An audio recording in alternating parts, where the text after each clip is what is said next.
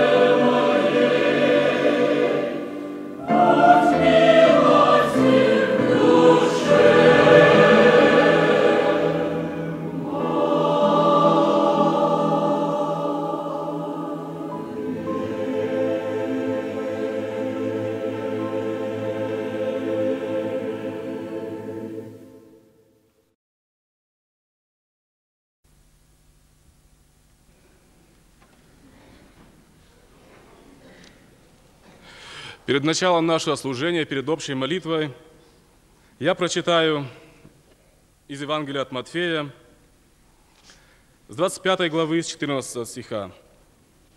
«Ибо он поступит, как человек, который, отправляясь в чужую страну, призвал рабов своих и поручил им имение свое.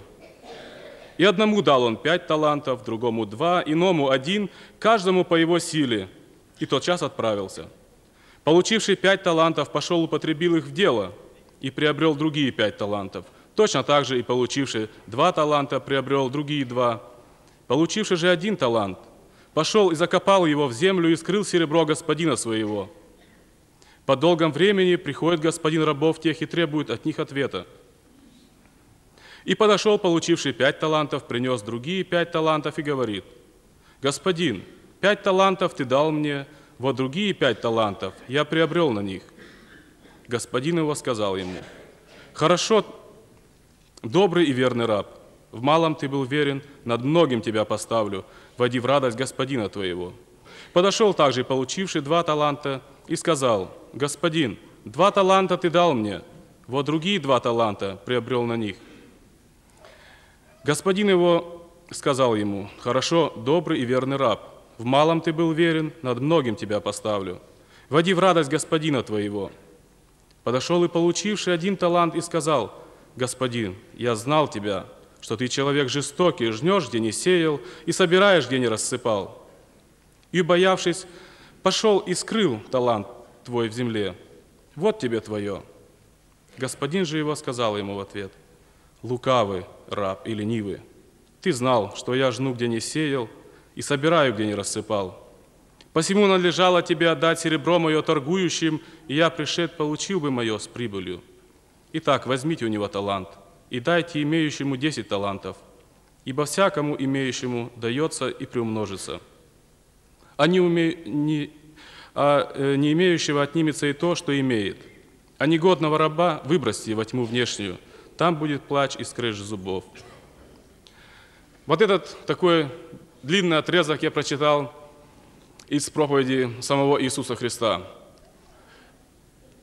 Как только мы прочитаем это повествование, первое, что бросается нам в глаза, это таланты и их количество. Одному дал пять, другому два, один. Но когда мы читаем дальше, суть этого повествования заключается не в количестве этих талантов. И даже те таланты, которыми Господин наделил своих рабов, и которые они приобрели на эти таланты – принадлежали не им. Практически все трое из этих рабов не имели ничего. Ни одного единственного гроша не было в их кармане. Все, что они имели, все, что они получили и приобрели, это были дары их господина. И тот оборот, который сумели сделать эти два верных раба, это также была прибыль не их, но их господина. Другой же, еще не получив какой-то прибыли от того, что ему дали в распоряжение, он уже сразу подумал, от этого жадного скряги я все равно не получу ничего. Он собирает там, где не рассыпал, и сдирает последнюю шкуру со всех, кто даже ему не принадлежит. Поэтому зачем мне трудиться? Он уже думал о том, о какой-то награде, которая может быть или не может быть получена от его господина – и он сказал, да зачем мне нужно это? Я лучше закопаю, и то, что он мне дал, верну ему, и пусть довольствуется тем, что он мне дал, я верну ему. Но другие два человека думали совсем по-другому.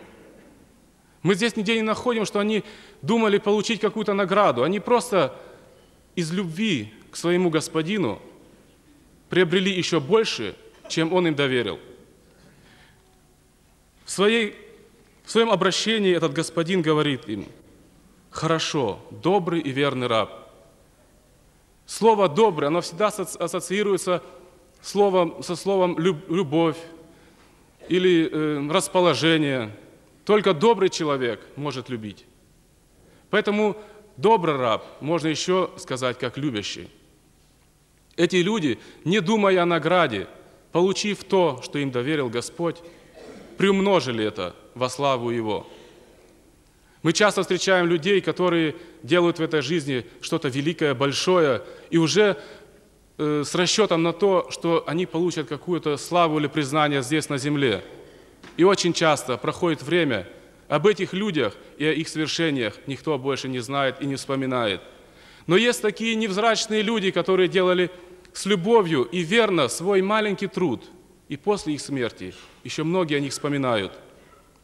Однажды после завоевания Иваном Грозным Кавказа и Сибири были расставлены казачьи э, поместья, э, казачьи станицы для охраны этих э, районов. И вот так на Кавказе вдоль реки Терека были поставлены также казачьи дозоры. Через реку Терек переправлялись обычно в тех местах, где она разливалась, имела широкое устье, где не было больших зарослей, чтобы не мог притаиться враг – Потому что переправляя через эту бурную реку, люди больше обращали внимание на то, чтобы не сломали кони копыта, и люди могли спокойно перейти. И вот однажды, приторочив к седлу, ехал один молодой казак и вез на своей, своей суме маленькое деревце, маленький дубок. И вот на одной из переправ он взял и посадил этот дубок. Под смех и насмешки своих сотоварищей – он сделал свое дело, бережно прикопал его землей, и вот так растет этот маленький дубок. И что вы думаете, дорогие друзья? Прошли года, не только года, прошли столетия. И вы знаете, этот дуб стоит до сих пор. Все мы, которые учились в русских школах в России, мы о нем читали и учили. О нем писал, писал так, у лукоморья дуб зеленый. Но никто не думал о том, что вот этот самый зеленый дуб стоит в станице Котляревской, там, где нам пришлось жить в России, недалеко от нас. Умер тот казак, имени его никто не знает и не вспоминает. Река сменила свое устье, русло, и взяли ее уже давно в бетонные берега. Никто не переправляется через нее пешим или на конях, переправляются на мостах. Идут тяжелые поезда через эту реку, переходят по громадным местам – но этот дуб стоит до сих пор. Это громадное дерево, под сенью которых, которого отдыхали каторжные люди, которые гнали в ссылку на Кавказ. Отдыхали наши братья, которых сослали туда. Но об этом тогда казак не думал. Он просто сделал этот маленький труд, который превратился в это могучее дерево. Господь сегодняшним собранием желает нам показать через пение – чтобы мы поняли, наш труд, который мы делаем, Богу совсем не важно, с какими талантами и с какими обладаем мы. Те таланты, которые есть, они не наши. Как у этих рабов, их дал Господин их. Если мы что-то думаем, что мы имеем, дорогие друзья, это не наше, это Его. Наша задача в смирении, то, что Он дал нам, приумножить, чтобы это малое могло превратиться в громадное дерево, чтобы под Его кроной могли отдохнуть страждущие и больные. Будем молиться сейчас, чтобы Господь благословил служение, чтобы мы могли увидеть в этом пении не чью-то славу, но когда-то в немощи посаженное малое деревце, которое вот так вот могло через года вырасти, могло укорениться в наших церквах и могло оказать для кого-то прохладу и живительную Э, живительный отдых и тень для страждущих. И теперь мы, вставшие, попросим благословения на это служение. Аминь. Дорогие братья и сестры, мы рады быть в вашей церкви. Мы, может быть, друг друга знаем, может быть, не знаем, может быть, вы слышали друг от друга, но мы радуемся, что мы имеем сегодня возможность быть вместе. И лишь по одной причине, потому что мы дети Божьи, мы христиане, и Господь Иисус Христос, Он нас объединяет. Мы скажем слава Господу за это. И мы радуемся, что мы все вместе сегодня хотим Его прославить. Сегодня особое служение, брат уже сказал, и оно будет больше музыкальным. И я думаю, что мы все вместе вот сможем это служение – это благословение от этого служения как-то прочувствовать. И хочется, хочется предложить первое произведение, первый совместный гимн, который мы можем исполнить все вместе. Это он называется Христос, надежда христиан. Я думаю, вам всем он знаком, правда? Вам всем он знаком, я тоже так думаю.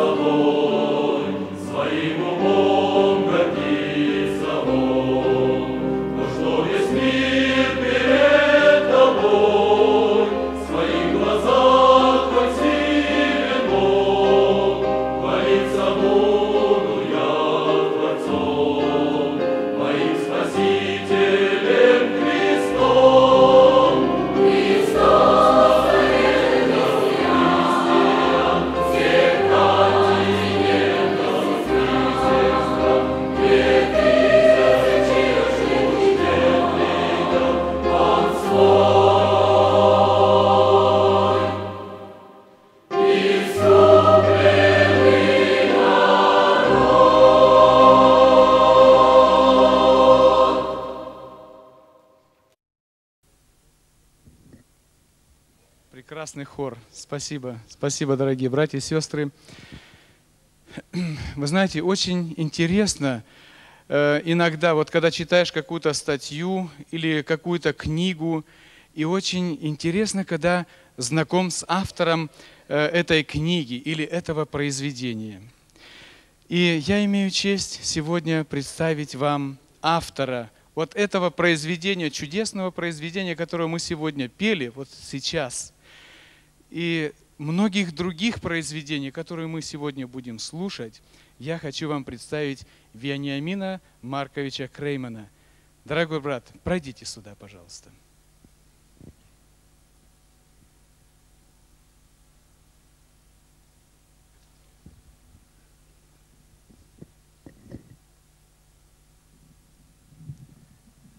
Дорогие, приветствую вас всех любовью Господа. Мир вам! И по-еврейски, знаете, как мир. Шалом. Шалом. Слава Богу. Так вас много собралось в этом зале, и я не знаю, кто вас сюда привлек, но я так верю, что Дух Святой. Вы тоже верите, да? Потому что если бы не Дух Божий, то человек идет где-то, где имеет общение, где совершенно другой дух. Много здесь таких мест в Германии. Согласитесь, да? А я смотрю не только э, зрелого возраста, но и молодежь. Молодежь наполнила этот чудный зал. И мне, на, мне пришло на память, э, пришел на память момент такой, который случился в моей жизни. Э, я с, участвовал в одной из крупнейших, наверное, крупнейшей была миссионерская поездка по Сибири. Это был 91 год. Ну, тогда мы все были с вами моложе немножко. 91 год, значит, 12 лет тому назад. И э, мы на теплоходе, трехпалубном теплоходе «Тобол» плыли э, миссионеры и с разных стран были, и я со своим хором небольшим. И вот э, прошли мы больше пяти тысяч километров и пешком, и на этом теплоходе, на вертолетах летали, возвещали Слово Божие, спасение – ну, один момент, который я хочу вспомнить. Сургут. Может быть, кто слышал Сургут? Да?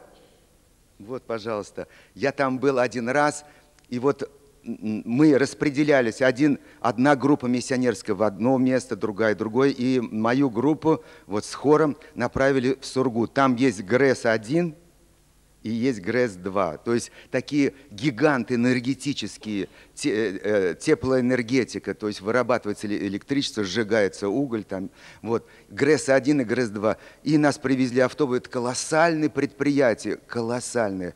Ну и зал такой похож на этот, но в мраморе все.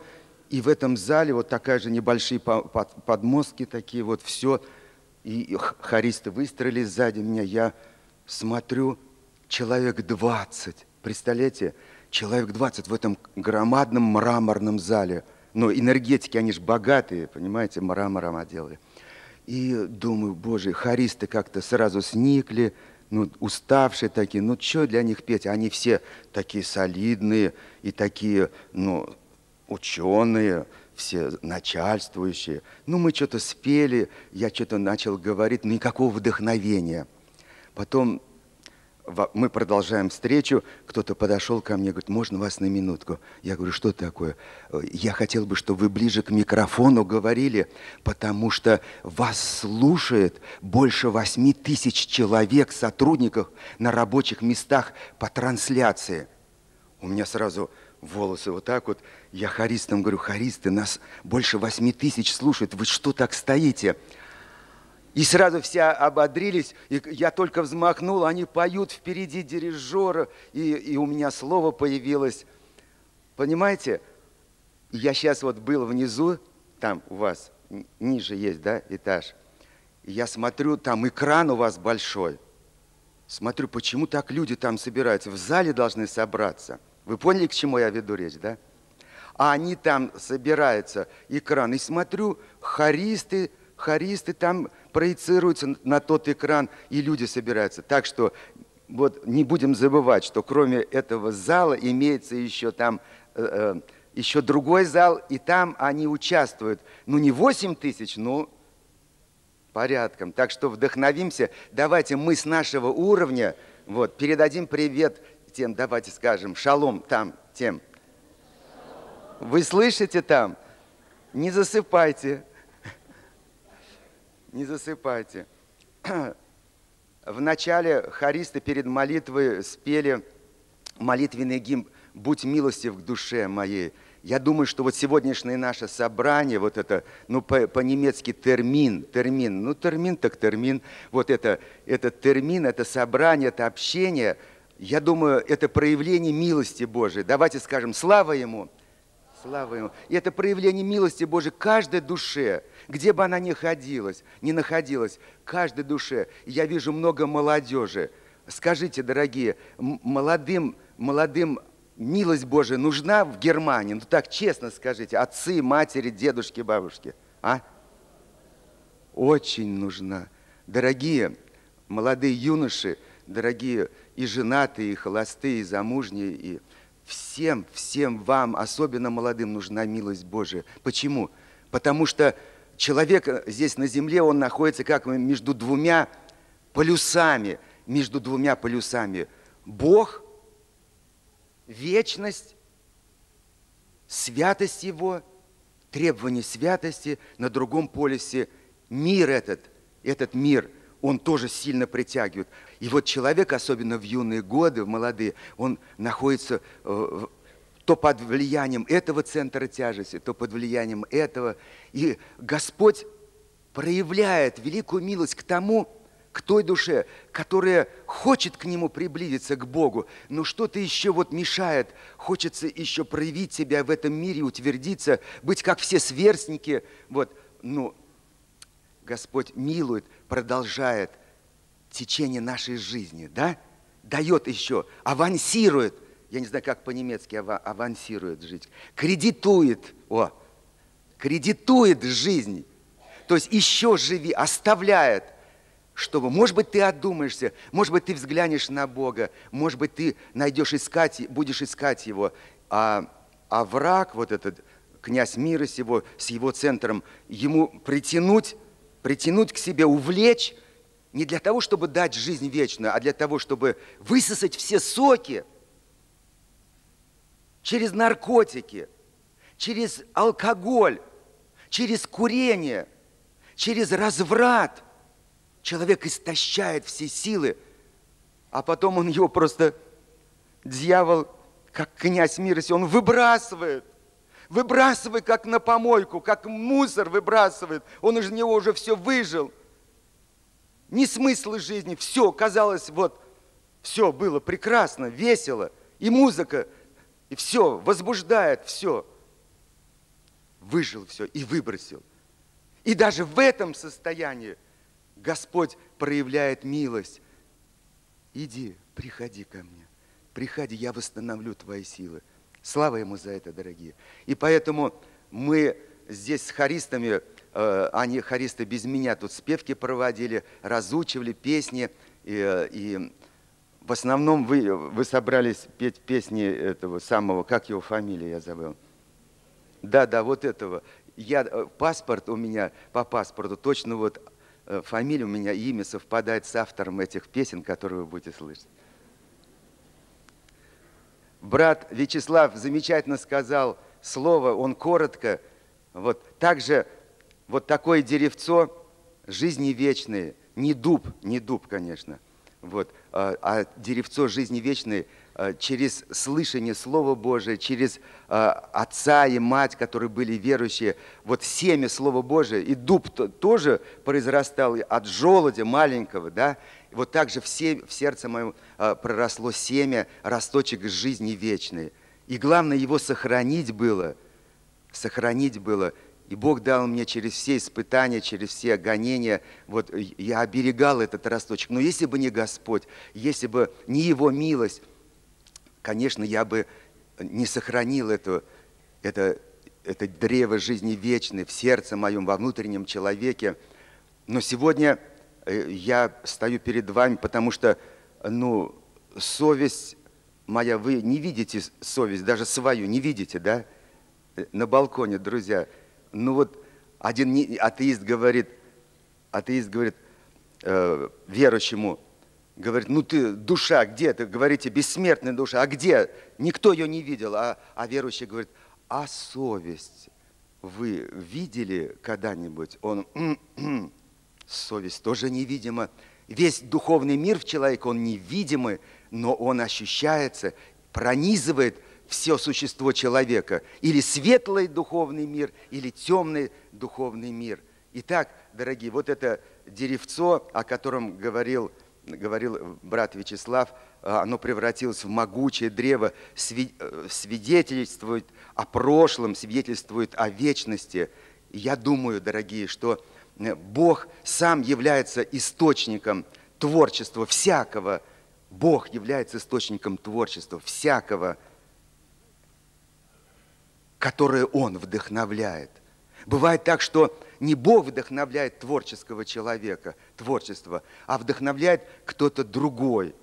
Но мы собрались сегодня слышать песни, которые были вдохновлены э, автором, автору э, Духом Божьим – и в центре, в центре этого, этого вдохновения всех песен в центре является Господь Иисус Христос.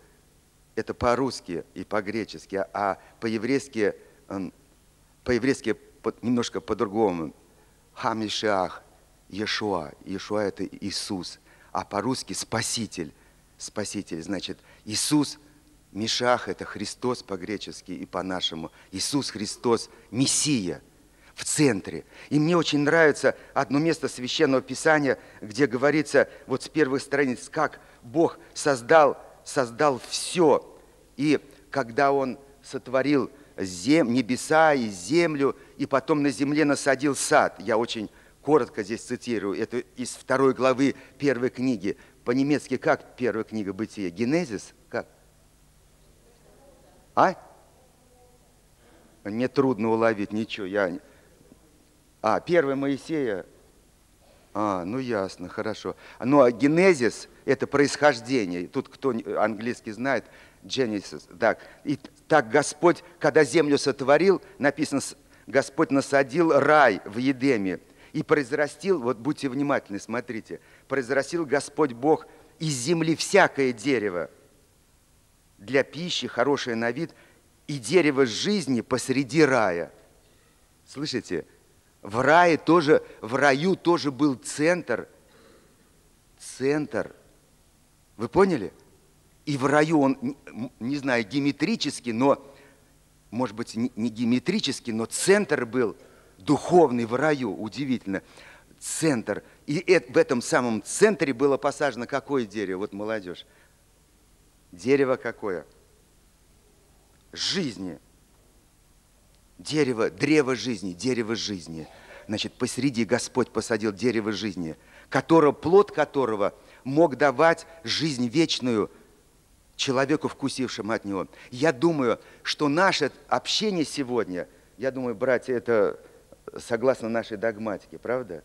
Братья соглашаются, что вот сегодняшний этот шатер, раскрытый над нами, и здесь Дух Божий, который действует здесь, это подобие того рая, подобие того рая, из которого был изгнан человек за, за грех Адам и Ева подобен тому раю. И чтобы он еще больше отражал подобие того рая, должно быть посередине какое дерево? Не дуб, да, Вячеслав? Ничего, что не дуб. Какое дерево должно быть? Древо какое? Ну, жизни, конечно, чего ж вы боитесь? Конечно же, древо жизни посреди рая. Скажите, что олицетворяет древо жизни –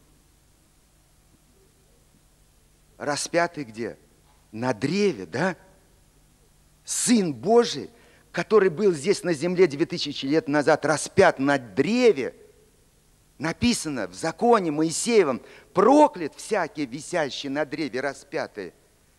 Но вот это проклятие было не за его грехи, а за грехи всего мира. Он сам был безгрешный, и так, что он, умирая, под проклятием греха всего мира, не своего, а сам, будучи святым, беспорочным, так получилось через эту добровольную жертву любви, он совершил умилостивление, жертву умилостивления. И человек любой, даже самый падший, даже самый наркоман, даже самый развратник, даже самый пьяница, самый разгульный, самый атеист, самый безбожник, если он, если он вкусит от этого древа, который посреди мира всего, это древо, крест его, спасительный для всех людей, он станет новой тварью, новым человеком. В душе его обновление произойдет. Наркотики прочь, алкоголь прочь, разврат, разврат прочь, атеизм прочь, оккультизм прочь, астрология, там всякие гороскопы, всякие шаманы, всякие ведьмы, вся, всякие эти... Не хочется их перечислять. Все прочь. Посреди его сердца, который становится подобием того рая, посреди будет кто? Древо жизни Он, Господь Иисус Христос. Дорогие, посреди истории всего человечества, с двух тысяч лет тому назад, как Господь был распят на кресте в Иерусалиме, за стенами его, этот крест стал центром, центром цивилизации современной – центр, он стал в центре. Но вы знаете, что есть силы, которые стремятся его сместить из центра. И в Германии они у вас действуют. Через всякие партии, ТСТП, там какие-то партии. Я не знаю. Действуют, чтобы убрать этот, это древо жизни, чтобы другое насадить в умах, в душах людей. Унижают Христа, Иисуса Спасителя – сегодняшнее наше служение. по милости Божией мы посвящаем этому древу жизни, кресту Господа нашего Иисуса Христа, Спасителя мира, Спасителя твоей души. Он потенциальный твой Спаситель, если ты Его имя призовешь. Ты обновишься. Мы посвящаем все наше служение. И я все это творчество, которое Господь вдохновлял меня, эта часть только будет спета. Я тоже посвящаю Господу, и пение хористов посвящено Ему. Он посреди хора, Он посреди нашего общения, Он посреди истории человеческой, Он должен быть посреди сердца каждого человека. Он дарит жизнь вечную. И сейчас мы будем что-то петь, да, Анатолий? «Отче наш Бог». Эту песню Э, песни молитвенного тоже склада на слова Константина Фафанова, русского поэта. Там слова такие необычные. Мы расплескали в годы сомнения, в годы ненастные. Вот как погода, ненастный ветер, пурга, в годы сомнения, в годы ненастные, мы расплескали елеи священные. Мы угасили светильники ясные. А что в Германии – не дуют такие ненастные ветры? Разве не хотят затушить свечу, светильник веры твоей и моей? Разве не дует этот страшный ветер? Мы, бываем, угасаем. И вот мы нуждаемся в молитвенной поддержке Господа нашего. Без Него мы превратимся в ледяную глыбу. Эта песня э, написана неожиданно, она как экспромт. Вы знаете экспромт, да? То есть не планировалось, да, оно по вдохновению. Я, э, был у меня сборник стихов, э, вот этих, Иван Степанович Проханов писал, э, то есть собирал. И я перелистывал, сидел за инструментом и озвучивал, что у меня было на сердце. Читаю стих, подходит такая картина, вот, музыкальная. И я так вот играл, наигрывал, а жена там в кухне бульон готовила. Запах оттуда шел из кухни, я не обращал внимания. Вот, я был увлечен, и вдруг жена открывает дверь и говорит, что ты вот играл, запиши, пожалуйста, пожалуйста, запиши. Но мне не хотелось записывать, я был в потоке этом музыкальном, духовном. Она настояла, ну, Аврааму Бог сказал, что Сара тебе скажет, да, помните? Ну, ты ее слушай, я, я Сару свою слушаю, вот и все. И так я остановился, записал, хористы сейчас исполнят.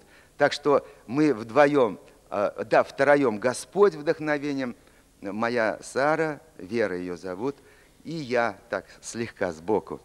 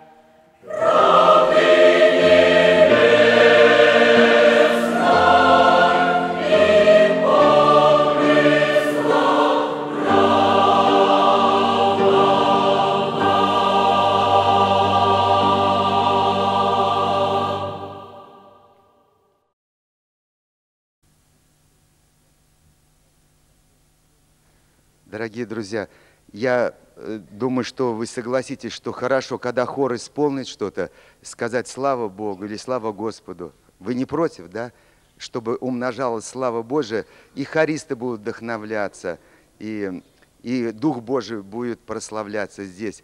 Мы сейчас послушаем в исполнении хора произведение, э, которое э, э, родилось, идея которого родилась в Куйбышеве, где я родился, на Волге, Куйбышев, это Жигули, Средняя Волга. Может быть, кто-то есть там оттуда, да?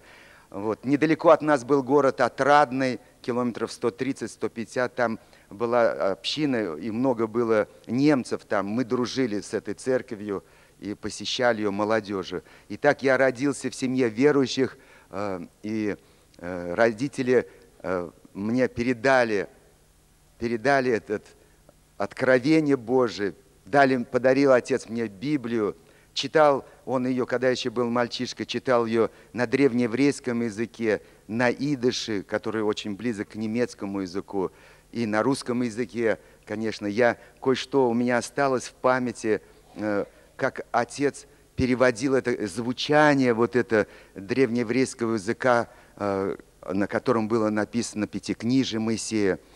Мне передалось э, от отца вот именно это почтение, это любовь, это преклонение перед Словом Божиим.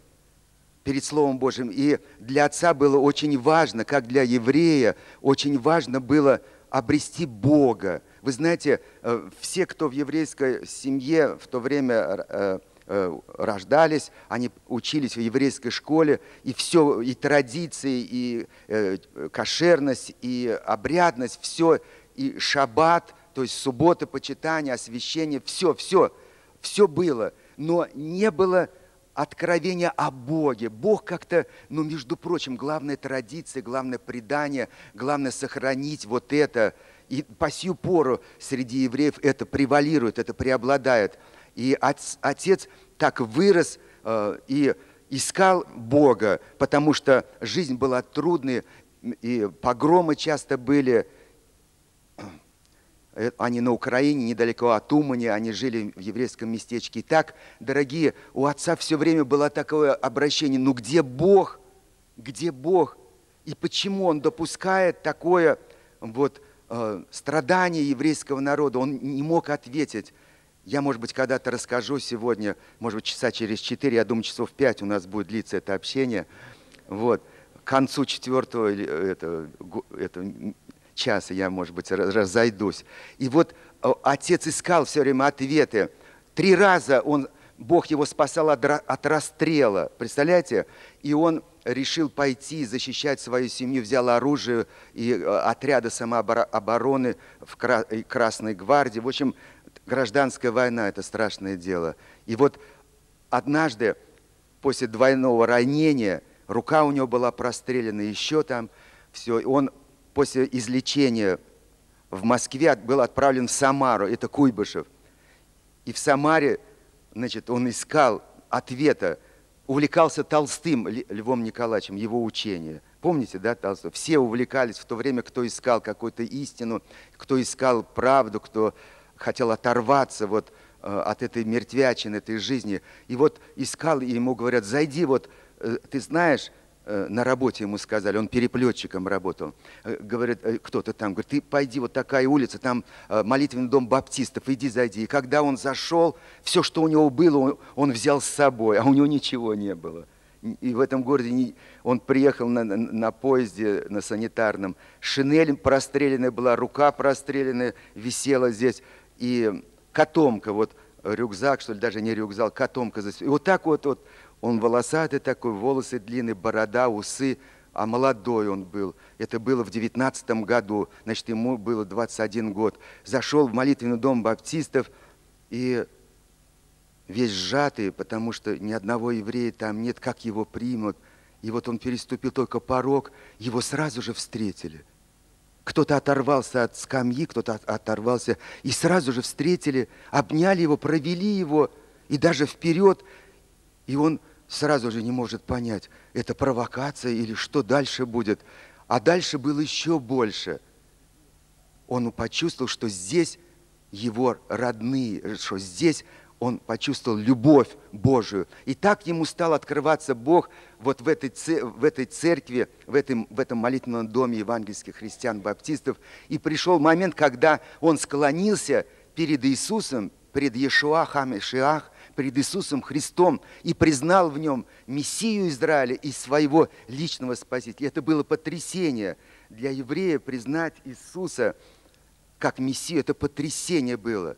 Один автор пишет – Честертон, вы, наверное, знаете, это английский писатель, он, и он говорит, что вот признать Иисуса для еврея, спасителя, все равно, что на всем скаку на лошади и упасть с этой лошади. Вот так обращение, обращение и принятие веры, откровение спасения через Иисуса, распятого на кресте, подобно вот этому неожиданному падению с лошади. Но у отца лошади, конечно, не было, но он склонился перед, перед Иисусом и так он стал верующим, написал своим родным на Украину, они, он думал, они обрадуются, они отреклись от него. Все родные, отец и мать, и братья, и сестры, у него, он десятый был в семье, все отреклись и сказали, ты для нас больше не существуешь. Да, и вот к чему я речь веду. Потом эту веру Господь передал от отца, от матери передал мне, и я тоже уже учусь на четвертом курсе института. Это в Куйбышеве. Безбожий атеизм. Верующие под ногами путаются вот у строителей коммунизма, мешают им прям идти, прям в светлое будущее. Мы тут мешались все веры. И я там тоже замешался, молодой, мне с 20 шел. Ну никак с дороги не уйду.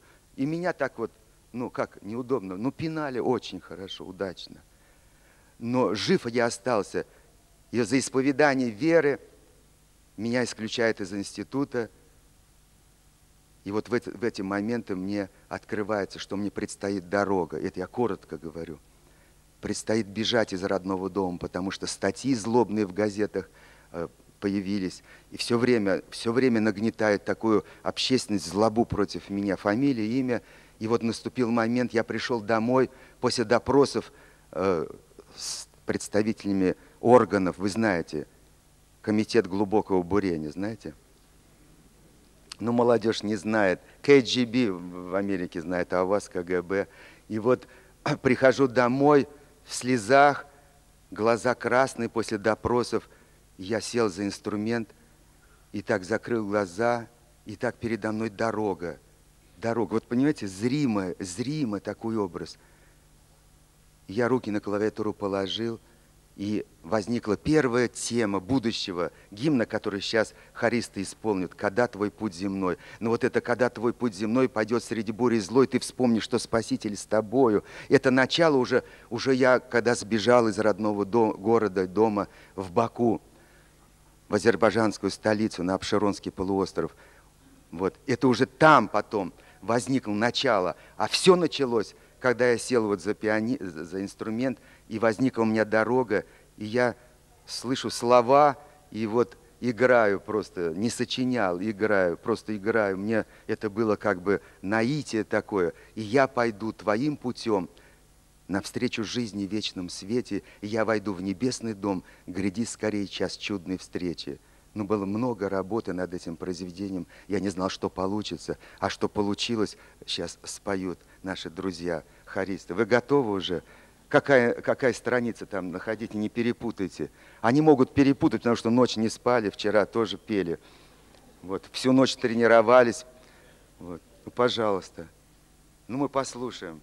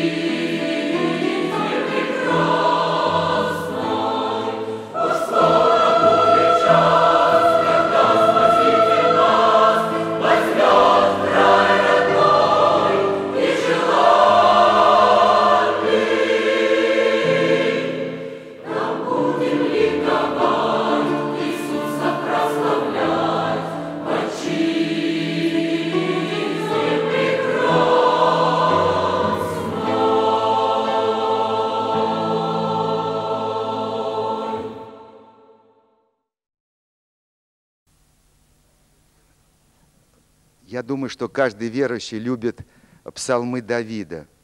И вот в моем сердце запала такая мысль от Господа.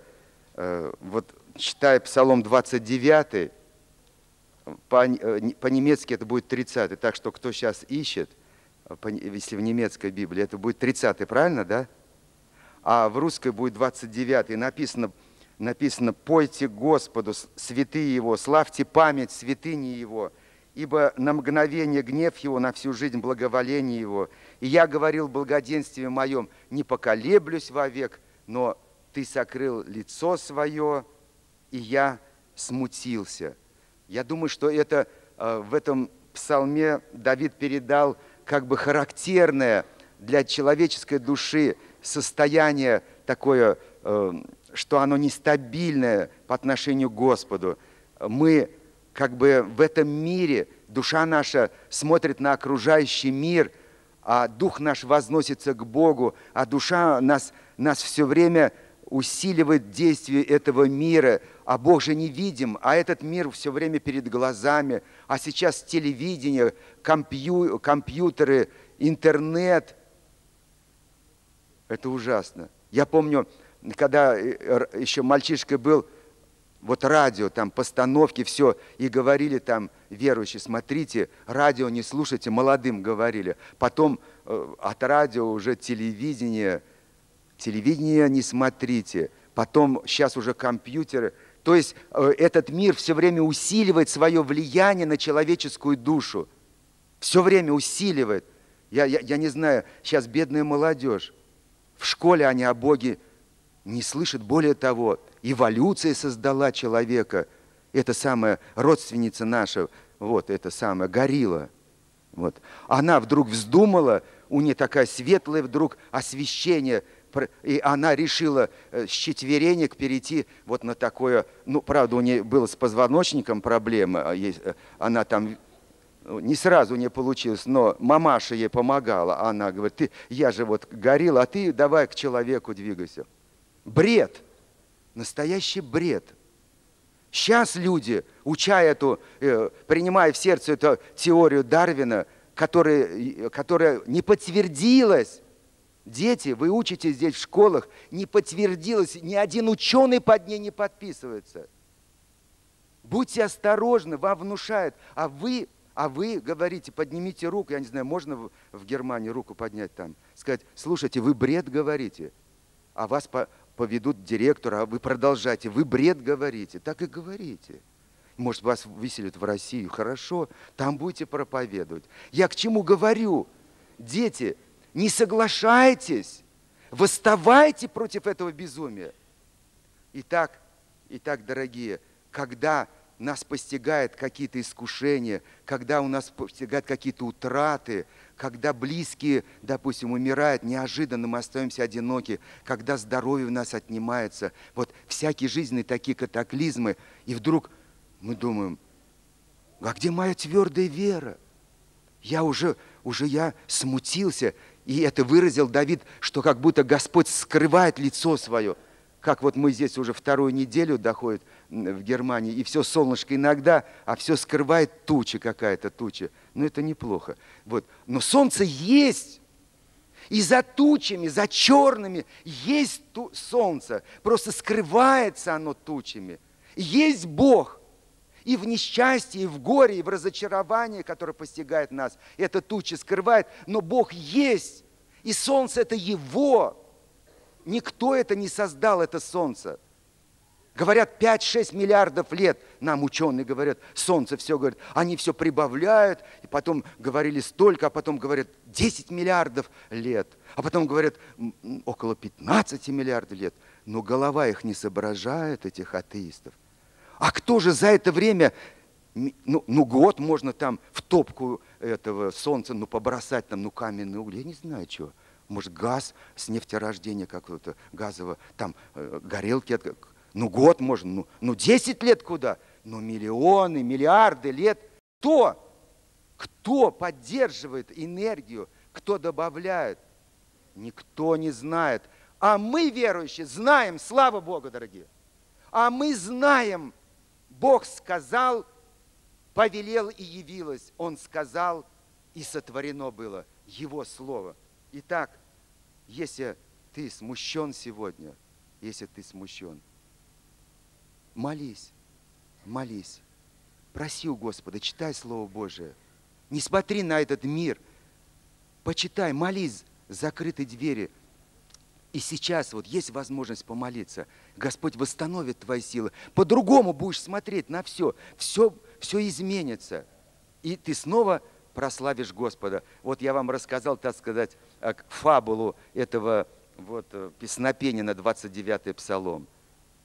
Ну давай это самое, Петя, пойдешь дирижировать? Давай иди.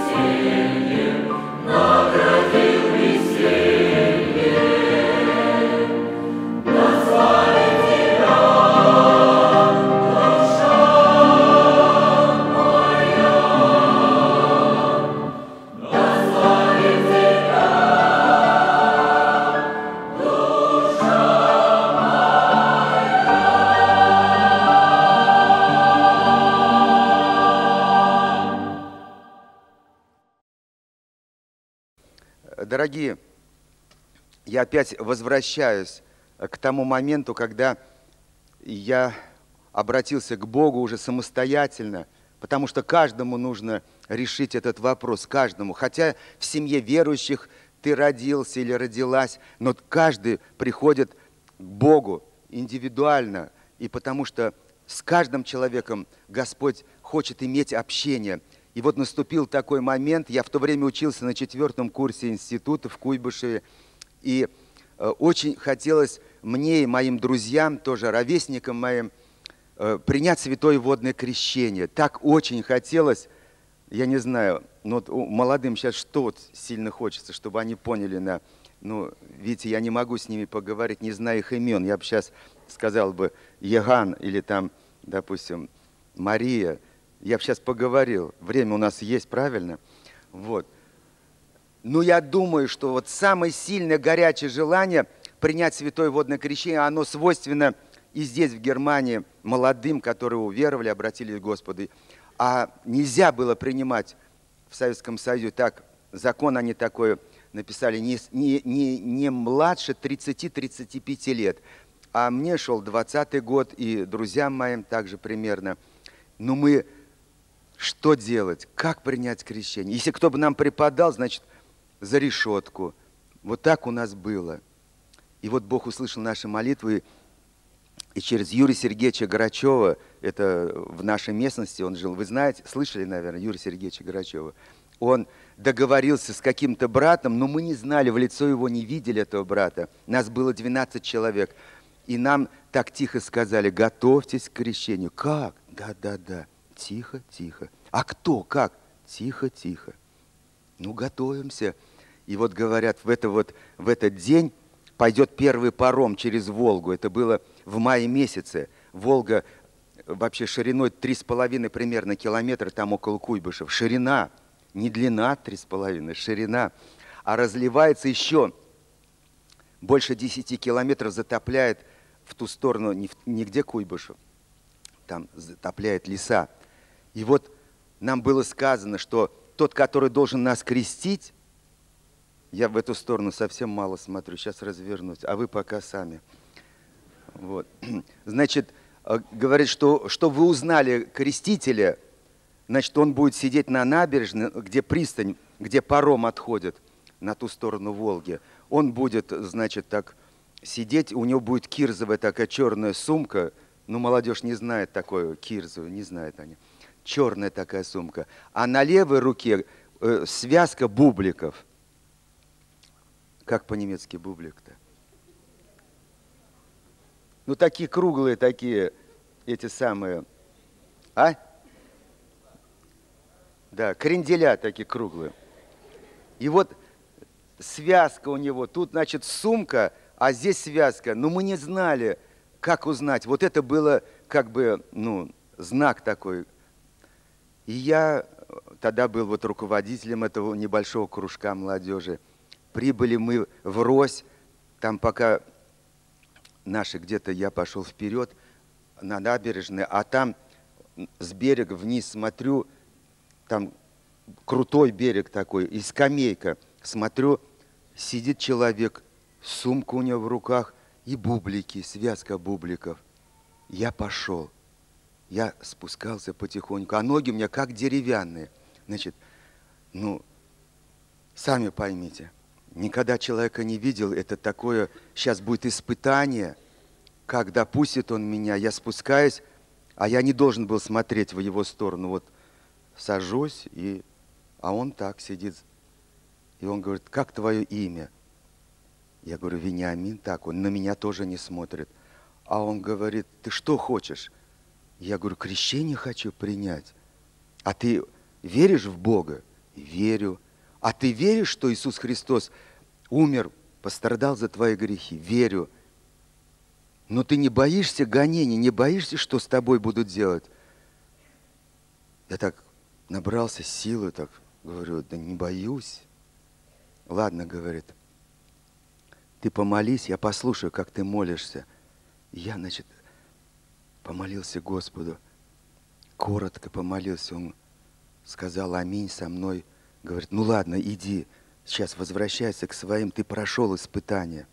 Иди, и пусть по одному спускается ко мне сюда. И так прошли мы все испытания, потихонечку среди людей затесались и э, на паром э, сели, переправились на ту сторону, а там уже такие деревья большие, такие высокие, ну тут воды-то много, такие колоссальные. Мы среди них так идем, ну довольны, все. И этого брата, он не, не такой молодой был, пожилой, мы его тоже накрыли, их так несем.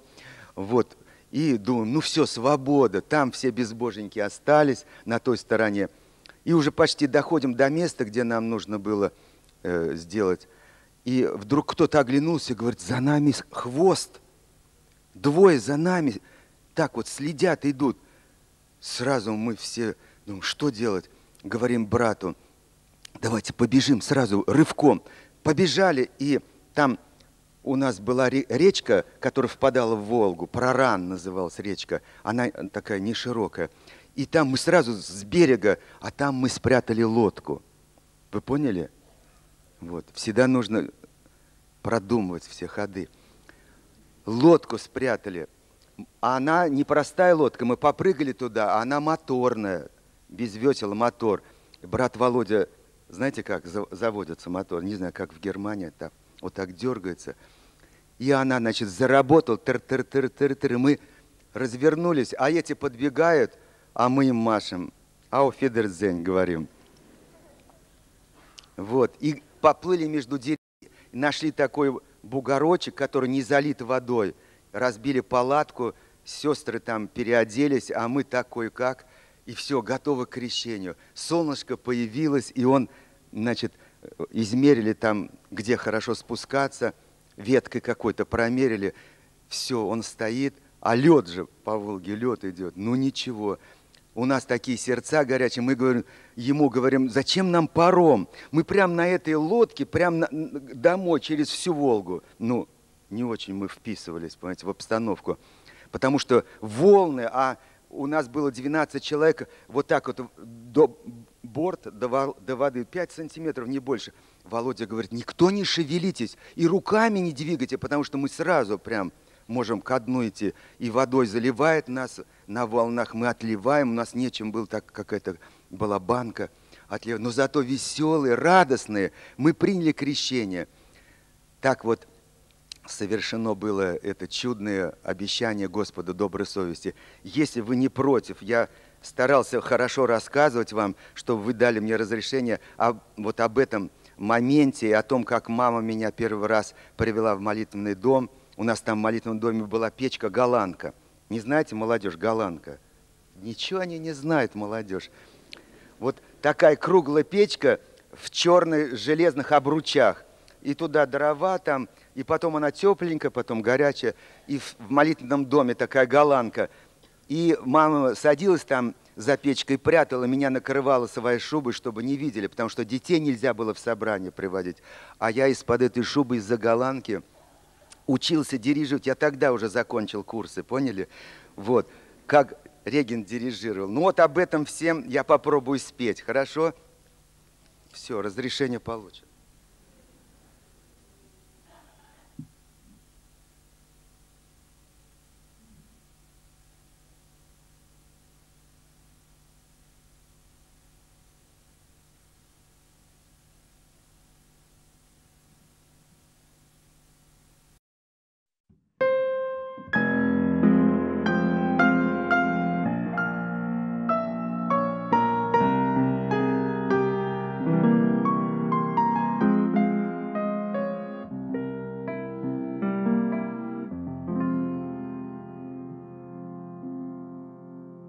Далеком детстве однажды мама меня на собрание с собой привела. Христос зажег в сердце веры пламя, Так церковь себе сына здесь обрела. Родная церковь, с тобой я связан,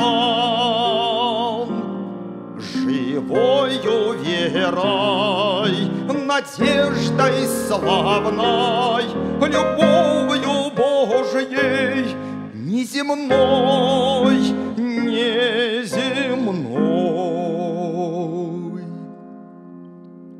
В завете вечном на верность Богу Свидетелем Волга весною была. С тех пор Христос по своей дороге повел, защищая с любовью от зла. Родная церковь, с тобой я связан Живою верой, надеждой славной, Любовью Божией неземной, неземной.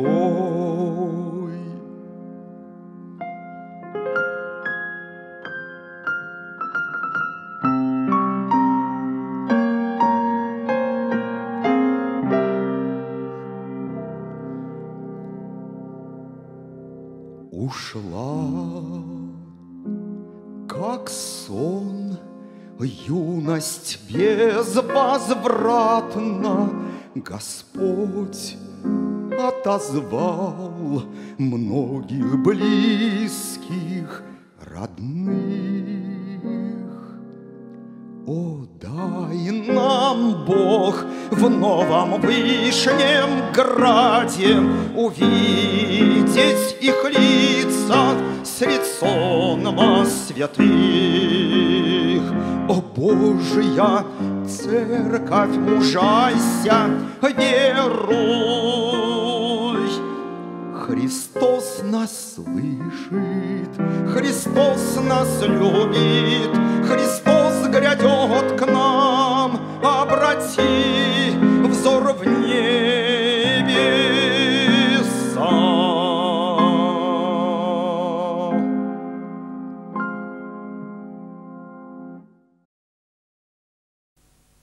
Я хочу сказать два слова перед тем, как хор будет петь. Э, прошло без малого 30 лет, когда я находился среди членов церкви, которых сейчас вижу посидевших. А в то время они были моими ровесниками. А сейчас старше или моложе. Молодых не узнаю, старших припоминаю. И когда мы находились в районе церквей, в которых мы принимали участие в служении, я всегда успокаивал себя. Ну, в Лемго-то я дома. Почему я так успокаиваю? В Лемго я дома, потому что Лемго – это моя церковь канская. Я хоть не Крейман, но я тоже Вениамин. И я этим случаем пользуюсь сказать два-три слова в микрофон, вслух. И еще потому, что хор, с которым мне началось работать в Канской церкви, он сейчас слушает меня, аккомпаниатор сидит за инструментом. И вот мы сейчас удалимся немножко в прошлое за 30 лет. 15 лет в Германии и 15 лет в Алмате, в Казахстане. И опять Крейман, Он виновником стал нашей встречи и нашего участия с вами. Пусть Господь благословит вас. Аминь.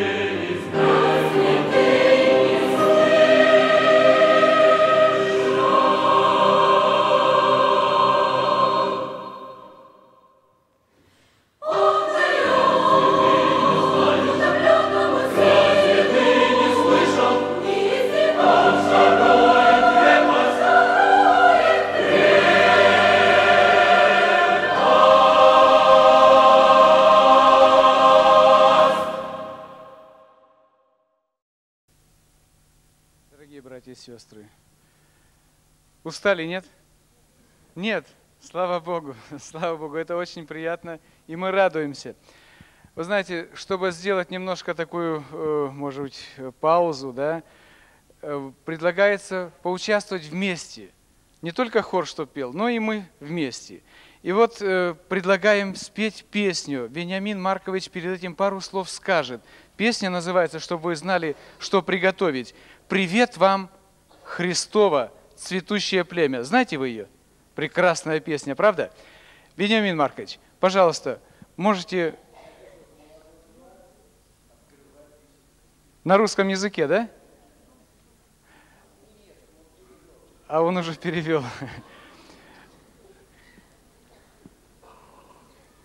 Семьсот восемнадцатый номер. С вашего разрешения я расскажу короткую историю, как эта песня возникла. Значит, от Куйбышева 130-150 э, километров город Отрадный, может быть, кто-то знает. Город Отрадный, никто не знает. Там была немецкая община.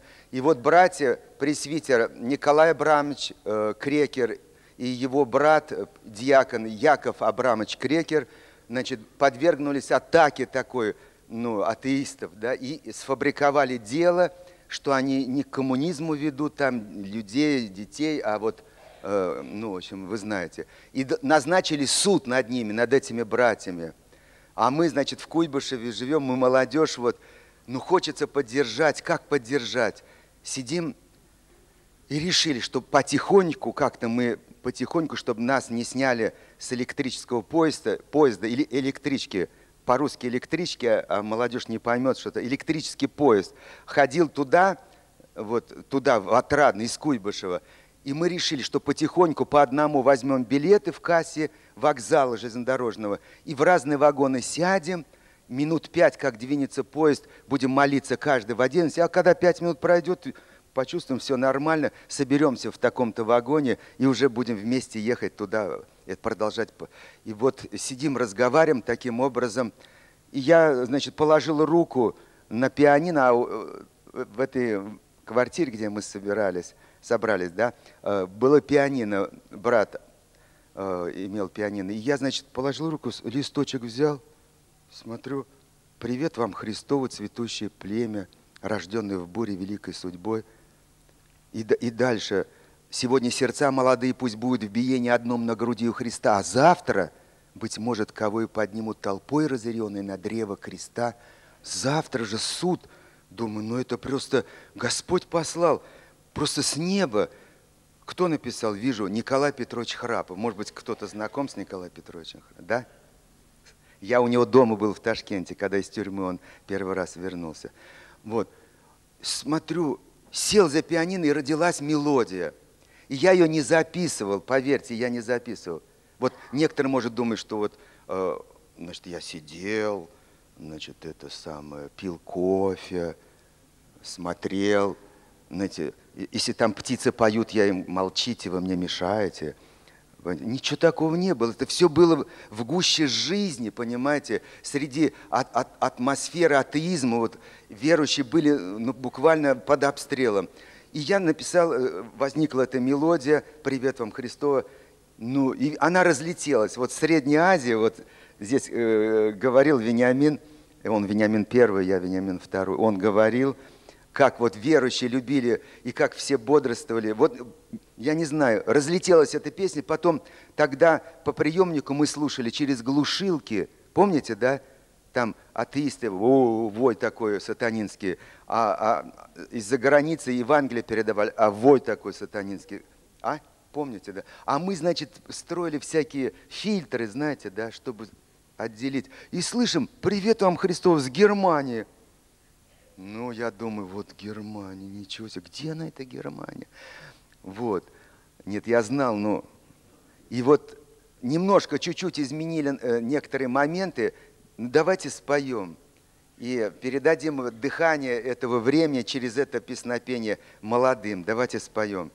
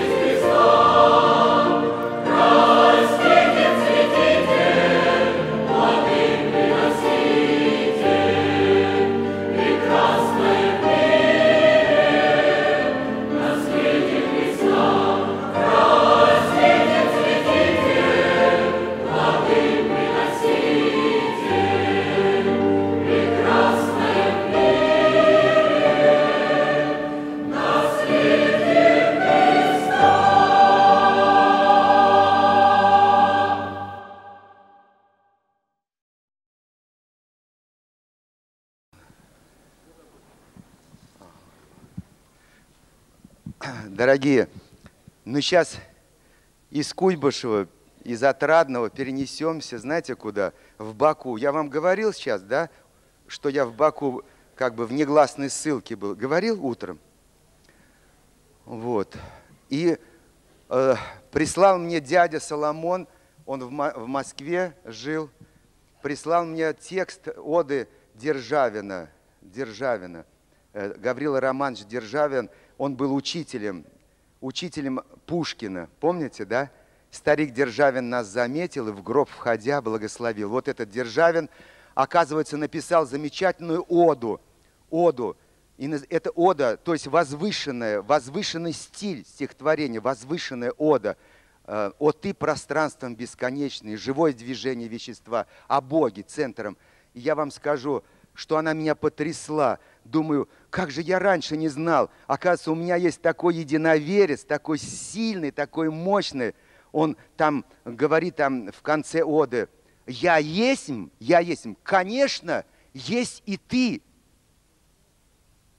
создавший все единым словом. Это удивительно, удивительно. И значит, я вам скажу, я тогда не знал еще, наверное, писателя Ходосевича, может быть, вы слышали, а он описывает, как э, у Державина возникло это замысел э, написать эту оду. Но он православный, значит, был на утрен... за утренней э, пасхальной службе в Петербурге, в Санкт-Петербурге, и вдруг у него пришла, раз, пришла мысль, о ты пространством бесконечным. Ну, всякий верующий мыслит же о Боге, как выразить его. И вот только о ты пространством бесконечным, и все больше ничего.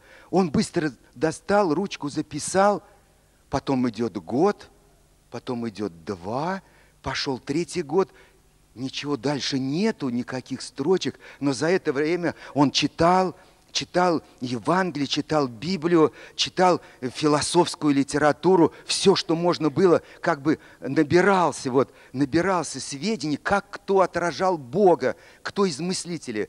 И вдруг неожиданно погода была страшно плохая, глубокая осень, дороги были размыты, и- а тогда же не был, там на телегах ездили. на- вот. И вдруг жене говорит, я, я еду в такой-то вот губернию, там у них какая-то усадьба была, хочу посмотреть поля.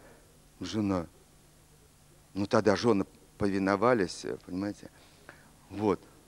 Куда она хотела сказать? Он, нет, нет, нет, закладываем лошадь, э, и все, я поехал. Ну, поехал. Это одно слово, поехал. Сейчас мы поехал в Германию, 100, меня брат один э, катал здесь, под 200 километров, только вы полицейским не говорите. Вот. А тогда поехал и забрался в какую-то глухую деревню, там нанял какую-то комнату, чтобы ему, ему приносили там бутерброды, и на него нашло. Вы представляете, дети, на балконе, слышите, там внизу, дорогие, нашло вдохновение. И вы знаете, он стал строчку за строчкой писать, и что его удивляло? Его удивляло то, что он может о Боге говорить, об этом непостижимом, непостижимом сверхсуществе, которое есть причина всех причин. Он может выразить какие-то мысли, и у него настолько это было потрясением, что Бог ему дает эти строчки слагать. Он, значит, э, встал на колени, это была глубокая ночь, он несколько дней там провел, глубокую ночь, ночь была, и он молился, и вдруг он увидел, что по стенам его этого, этой комнатки убогой, да, свет, вот так вот мелькает свет. Он э, ничего не мог понять, и он написал последние строчки. Для смертных грешных невозможно тебя ничем и не почтить, как только к тебе лишь простираться, безмерной радости теряться и благодарные слезы лить. И на самом деле у него лились в этот момент слезы. Так ро- родился этот текст вот это, этой оды. Я не думал на него писать. Музыку вы сами поймите, на высокую оду. Я сижу на работе, и до этого читал эту оду, мне дядя Соломон прислал, и сижу, выполняю плановые обязательства. Ну, работаю. И вдруг неожиданно, вот я хотел особенно молодежи, чтобы они были внимательны, ну, к работе на своем месте, но к вдохновению Божию, вдруг неожиданно слышу, прям натурально слышу, о ты пространством бесконечным. Вот эта музыка идет сначала с пиано, она расширяется, она расширяется.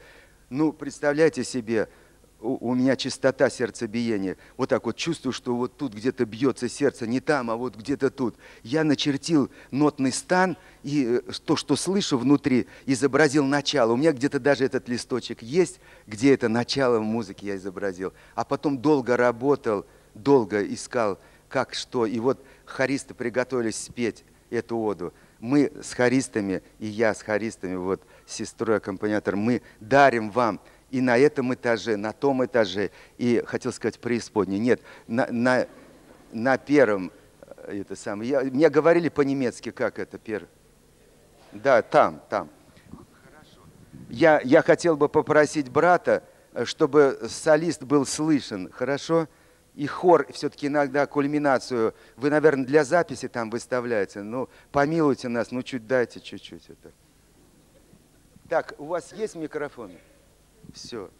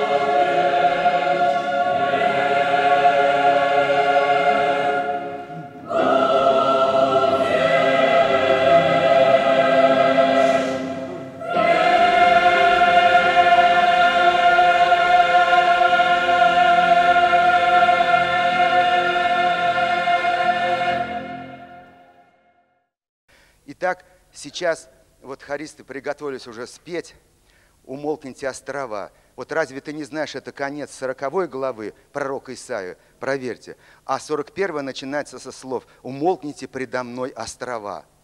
Так? И дальше, 41 и дальше говорится о грядущем суде Божьем, когда Бог, значит, людей всех поставит. Ну давайте, давайте, выйдите, давайте, давайте, скажите, что вы имеете ко мне, понимаете? Но я решил пойти по другому пути, э, говорить не о грядущем суде, говорит Господь, говорит, а для нас что Он нам говорит? И я пошел по любимым пророкам, пророк Малахи, тоже вы же любите пророк, последний пророк перед Новым Заветом. А для вас, благоговеющий перед именем моим, взойдет солнце правды.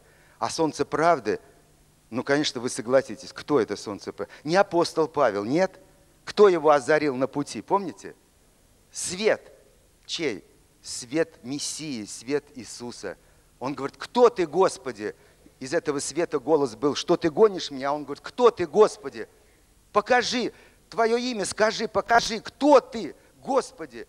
Я же израильтянин, я же фарисей из фарисеев, из колена Вениаминова. Я эту ересь гоню, вот эту ересь, вот эту ну, назарейскую, которые себя христианами стали называть. Я их гоню в тюрьмы, сажаю, хватаю, потому что они нарушают закон, они идут против традиции. Господи, кто ты?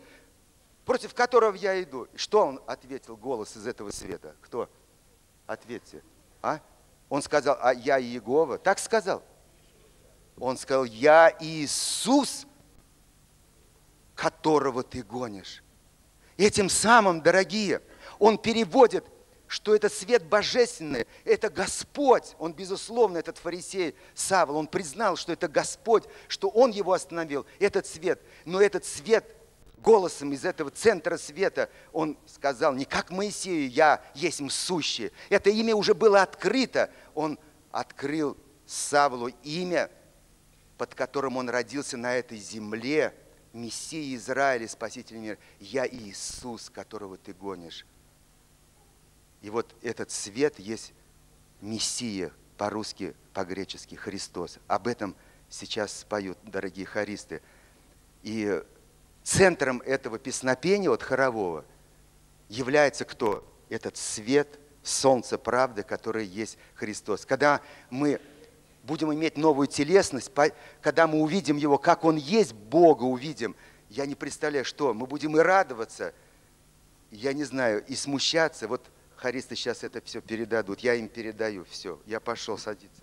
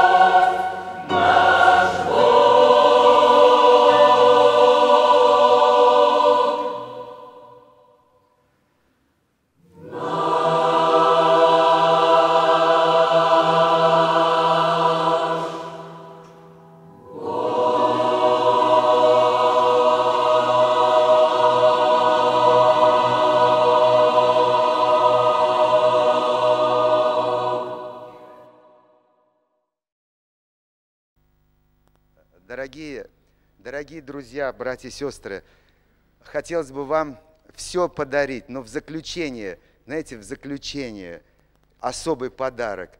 Вы, наверное, уже поняли, что хористы приготовят для вас в заключение особый подарок. Это 90-й псалом, живущий под кровом Всевышнего, под сенью всемогущего покоится, говорит Господу, прибежище мое и защита моя, мой Бог, на которого я уповаю.